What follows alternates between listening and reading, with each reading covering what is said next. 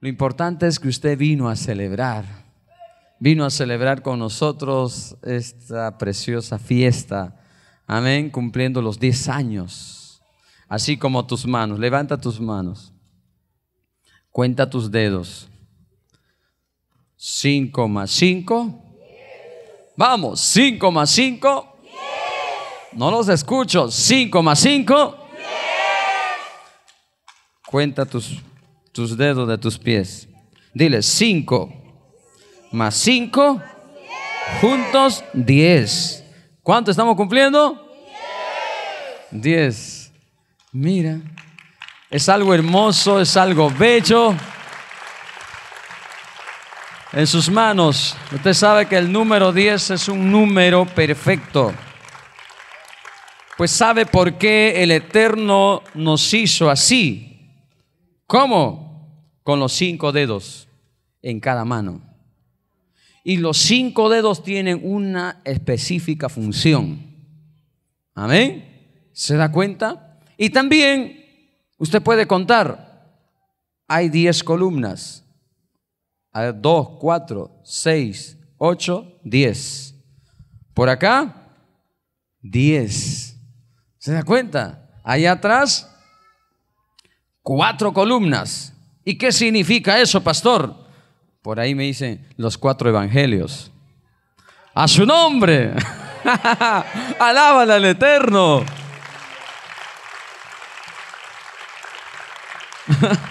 ¿Cómo es eso? Es que todo lo que está aquí está diseñado por la guía de Ruach HaKodesh. Todo lo que se ha hecho aquí. Mira, son 10 que trabajan 10 al lado izquierdo, 10 al lado derecho. Por su lado, por mi lado, derecho, izquierdo. En tu derecha, ¿cuántos hay? Cinco. Algunos tienen en su derecha cinco. Amén. En su mano, estoy hablando en su mano. En tu mano derecha, ¿cuántos dedos hay? Y en la izquierda, pastor, y los que sufrieron accidente. Usted tiene el privilegio de tenerlo todo completo. Teniéndolo todo completo, alábale. Amén. Hay algunos que aún no tienen brazo ni para contar sus dedos. Como dicen, usted se da el lujo de contar sus dedos. Pero otros quieren contar sus dedos, pero no tienen el brazo. Pero así saben honrarle al Eterno. Así saben agradecerle al Padre Yahweh, a su nombre. Aunque no tienen brazos, no tienen piernas, pero así predican la palabra. A su nombre. Alábale al Eterno. Qué tremendo, qué bendición. El tema de hoy es hambre sobre la tierra. Hambre sobre la tierra. Viene hambre sobre la tierra. Viene hambre sobre la tierra. ¿Qué viene sobre la tierra? Como dice la palabra, dice en Mateo, ¿no? Capítulo 24, eh, 25. Habla la profecía dice su palabra. ¿Qué es lo que dice ahí en su palabra? Habrá, antes de su venida, habrá guerras, rumores de guerras, hambres, pestes, plagas. A su nombre. Y todo ello apunta que su venida está cerca. Porque eso le preguntaron sus discípulos, le dijeron a Yeshua, ¿qué señales habrán antes de tu venida? Así le dijeron, mira las señales. ¿Qué señales habrán antes de tu venida? ¿Y qué le dijo Yeshua? Estas serán las señales. ¿Y cuáles son las señales? Hambres, guerras, pestes, plagas. Esos son las señales de que Yeshua está a las puertas. Amén. Pero esto me han predicado desde hace muchos años. escuché predicar a un evangelista en tal estadio, en tal lugar, que decía que Yeshua viene, pero no ha venido hasta ahora. Pero mira cómo está hoy Israel, cómo se encuentra Israel. Rodeado, amén, misiles por aquí, por allá, estallan. ¿Usted, usted se ha dado cuenta de eso? Amén. Y esto en esta, en esta actualidad está pasando más que nunca. ¿Cierto o no cierto? Eso pasó los años pasados, hace 20, 30. Claro, sí que Israel siempre ha sido perseguido, siempre ha sido atacado, pero ahora sí es un cumplimiento, el cumplimiento profético. Pero el pueblo tiene que estar preparado. Amén. Esta iglesia, este pueblo se identifica como un pueblo santo, un pueblo kadosh, un pueblo separado, un pueblo apartado. Aún nuestras cuatro paredes lo cuenta y lo dice. Aquí está la bandera de Israel, si usted lo ha visto. A su nombre. A su nombre. Ve la columna cómo está pintado de color azul y ve la pared cómo está pintado de color blanco. Es la bandera es la madre de todas las banderas, la madre de las naciones, Israel. Como le dije en otra prédica, desde Israel salieron las naciones. De Israel se formaron las naciones. De ahí salieron la humanidad. Se confundieron las lenguas, sí, en la torre de Babel, pero era necesario que eso aconteciera para que la tierra sea poblada. A su nombre, pero todos somos hermanos. Dile que está a su costado, todos somos hermanos. Todos somos uno. Todos somos hermanos. Qué tremendo, qué bendición. Con diferentes apellidos, pero todos somos hermanos. Ya casi nos vamos. A mí no se preocupe los que van a regresar a casa. Hambre sobre la tierra. Vamos al libro de Amós capítulo 8, versículo 11 en adelante. Y dice así la poderosa palabra de Yahweh. Amós capítulo 8, versículo 11. Así dice. He aquí que vienen días, declara Yahweh, en los cuales mandaré hambre sobre la tierra, en las cuales mandaré hambre sobre la tierra, no hambre de pan, ni sed de agua, sino de escuchar la palabra de Yahweh. Dile gracias, Padre Yahweh. Puede sentarse si todavía hay tiempo, iglesia. Amén. Tremendo. He aquí vienen días, declara Yahweh, en los cuales mandaré hambre sobre la tierra. Dile, tengo hambre. Repita conmigo, tengo hambre. No he cenado. Tengo hambre. A ver, levante la mano los que no han cenado. Vamos, vamos. Los que no han cenado, no se siente obligado. Si has cenado, ¿para qué vas a levantar tu mano? Entonces, todos los que no han cenado, dile, tengo hambre. Tengo hambre. ¿Dónde está la olla? ¿Dónde está el plato? Tengo hambre. Voy a comerlo. Mancantinta. No, no diga eso, hermano. Eso es con toda la olla. Amén. He aquí vienen días, declara Yahweh, en los cuales mandaré hambre sobre la tierra. No hambre de pan ni sed de agua, sino de escuchar la palabra de Yahweh. Amén. No hambre de qué? De pan ni sed de agua, sino de escuchar la palabra de Yahweh es que es necesario que estas cosas acontezcan. Aún las noticias, aún los reporteros dicen apocalipsis. ¿Se ha dado cuenta? ¿Qué dicen los periódicos? Apocalipsis. Amén. El mundo lo, lo dice así. Pero ¿qué está haciendo el pueblo? Amén. Por todo lo que está aconteciendo. Estamos predicando, por eso se filma por estas cámaras. ¿Para qué? Para aquellos que nos escuchen, aquellos que nos ven, sepan que ya nos vamos de esta tierra. Pastor, si nos vamos de esta tierra, ¿por qué estamos construyendo algo bonito? Si se va a quedar, debemos estar en esteras, debemos estar en plástico. Usted sepa que somos hijos del rey. Amén. Somos hijos del dueño de la plata y del oro. Él ha provisto todo esto. Amén. Aunque muchos eh, pueden haber criticado, pero aquí está la realidad. Amén. Y arriba en los cielos nos veremos. Amén. Eso será, o sea, eso será el gozo pleno. Porque aquí muchos podemos construir casas. Amén. Construir grandes templos, megatemplos. Pero a ver si nos vamos a salvar construyendo el megatemplo. Eso no me salva. Escuchen. Construir una casa de oración hermosa, bella, en el cerro, donde es difícil llegar los materiales, eso no me salva a mí. Eso no me no salva a mi esposa. Amén. Eso no salva a mi familia. Lo que salva, lo que te salva, no salva, es estar a cuentas con Él, vivir su palabra, a su nombre. Alábale al Todopoderoso. Alábale al que se merece gloria y honra más fuerte.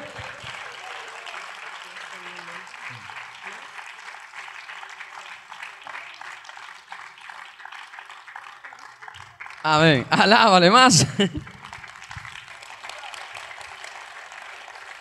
Dice así el versículo 12, serán reunidos de mar a mar y desde el norte hasta el sur, entonces correrán para buscar la palabra de Yahweh, pero no la hallarán. Mira lo que dice, ¿qué dice? Se reunirán de mar a mar. Usted sabe, cuando dice de mar a mar, entiende esta palabra, me, o sea, me extendería, pero lo vamos a hacer corto. Cuando dice de mar a mar, usted sabe qué es lo que separa a un continente. Amén. Para llegar a otro continente, ¿qué es lo que nos separa? El mar. ¿Recuerda usted cuando ha viajado, no sé, a Italia, a España? ¿Qué, qué nos separa con España? Un mar. Tremendo, una inmensidad de kilómetros y kilómetros y hasta con avión llegas en horas. Por eso mira lo que dice la palabra. Serán reunidos de mar a mar, desde el norte hasta el sur. Entonces correrán para buscar la palabra, la palabra de Yahweh, pero no la hallarán. Ya no lo encontrarán. Será muy tarde. Entonces es necesario que corramos a Yeshua mientras todavía hay oportunidad. Dile que está a su costado mientras hay oportunidad, corramos a Él. Escuche, mira. Vamos al libro de, de Génesis. Santo. Mira lo que pasó allí. Génesis capítulo 7, versículo 15 eh, en adelante. Génesis capítulo 7, versículo 15 en adelante, mira lo que pasó con ellos. Mira lo que dice. Entraron al arca junto con Noé de par en par, de toda carne que tenía aliento de vida, y toda carne que entró, macho y hembra, entraron conforme Dios le había mandado. Y Yahweh cerró la puerta en presencia de Noé. poquito me lo baja, por favor. chiquito. Amén. Y toda carne que entró, macho y hembra, entraron conforme Elohim le había mandado. Y Yahweh cerró la puerta en presencia de Noé. Mira, el arca que el Padre Yahweh ordenó a construir se hizo para salvaguardar, para o sea, para cuidar Amén. Ahí para proteger, para preservar a los hijos temerosos de Él. Pero no se halló ni un hijo que escuchó la palabra, así como en la actualidad. Hoy podemos ver muchos sentados aquí muchos aleluyas, muchos evangélicos. Qué bonito. Pero en el tiempo de Noé, apenas sus, sus hijos y quiénes y sus nueras. ¿Se da cuenta? Solamente ocho se salvaron de cientos de miles de personas. Es así en la actualidad, aún estando sentado en la casa de oración, hay dureza en tu corazón. Dices todavía, no, tengo que arreglar cuentas. Yo no puedo tomar esa decisión muy delicada de servirle a Yahweh, porque no me siento preparado, dice así usted. Dice tu boca, dice tu corazón, porque muchos han hablado así. Ah, ya ve, me invitan a la iglesia para, para comprometerme y mejor no hubiese venido y encima ya me está mirando el pastor. Es que cuando Él te habla te tiene que mirar a la cara. Él no te, no te va a hablar de costadito. Él cuando te habla te tiene que mirar a la cara. Y si yo te estoy viendo es porque Él te ama. Porque estás en sus planes, estás en su proyecto, estás en su, en su propósito. A su nombre. Alábale. Alábale al que se merece gloria y honra. Y si sigue leyendo la palabra, ahí usted le doy su tarea para que usted lo lea. Pero pastor, léelo. Ya, tanto que insiste, entonces vamos a leer unos cuantos. Entonces vino el diluvio sobre la tierra, amén, por 40 días. ¿Y, ¿Y qué pasó? Cuando crecieron las aguas, levantaron, amén, levantaron el arca y fue elevada de la superficie de la tierra. Y las aguas siguieron aumentando y creciendo en gran manera sobre la tierra y el arca flotaba sobre la superficie de las aguas. El versículo 19, y quedaron cubiertas todas las altas montañas que se encontraban bajo todo el cielo, porque las aguas aumentaron más y más sobre la tierra, y las aguas subieron 15 codos más arriba después que fueron cubiertas las altas montañas. Por, por tanto, toda carne que se movía sobre la tierra pereció. Ave, ganado, bestia y todos los reptiles que se arrastran sobre la tierra y todos los seres humanos perecieron. Amén. Todo el que tenía aliento, espíritu de vida en su nariz, todo lo que había en la tierra seca murió. Todo lo que tenía aliento en su nariz, reptiles, aves, todos. Por eso usted puede ver, en el pasado habían dinosaurios, ortosaurios. ¿Recuerdan eso? A través de la historia, solo quedó en la historia. Pero ¿por qué no dicen ellos? ¿Por qué no dice la ciencia que esos animales murieron en el diluvio? Noé construyó el arca, pero nadie quiso arrepentirse. ¿Te dice el profesor? A ver, a ver, atención. Oído, pestaña y ceja.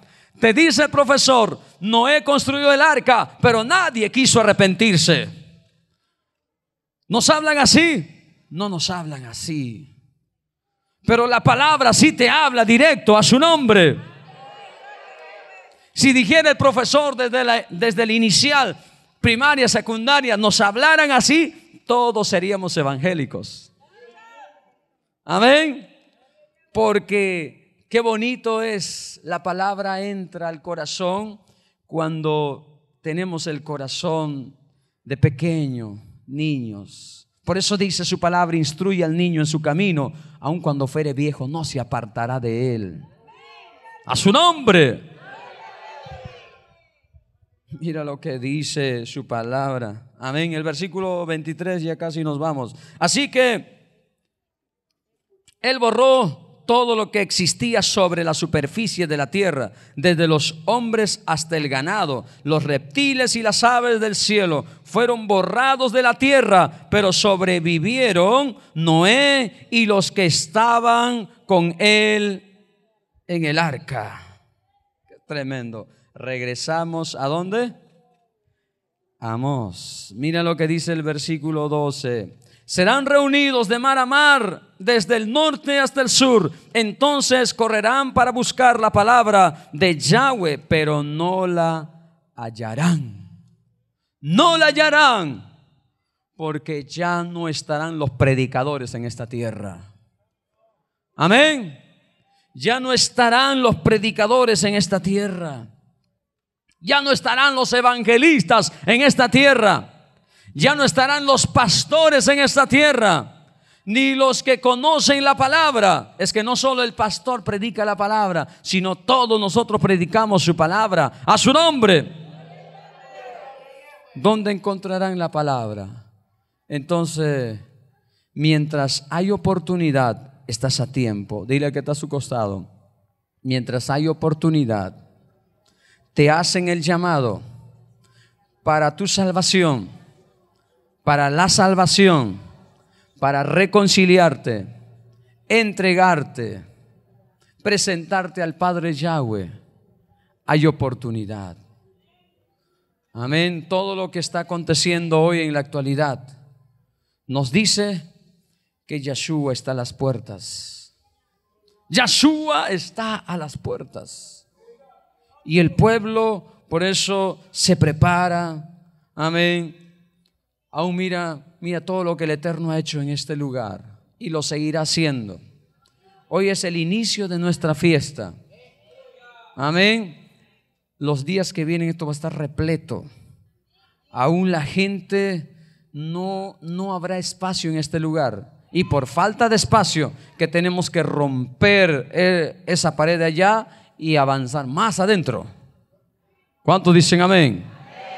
Así vamos a hacer mientras tenemos espacio. Y si ya no hay más espacio allá, entonces para ese tiempo ya estará, si el Eterno lo permite, escuche, si el Eterno lo permite, ya nuestro mega templo allá. A su nombre. Dile gracias por tu palabra. Gracias por tu mensaje.